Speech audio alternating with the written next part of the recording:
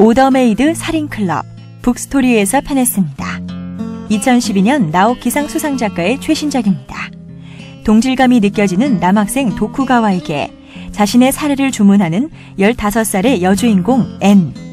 두 사람은 그렇게 하나의 살인 사건을 준비해 나가는데 섬세한 필치로 사춘기 아이들의 불안하고 굴절된 심리를 설득력 있게 묘사해 돋보이는 작품입니다.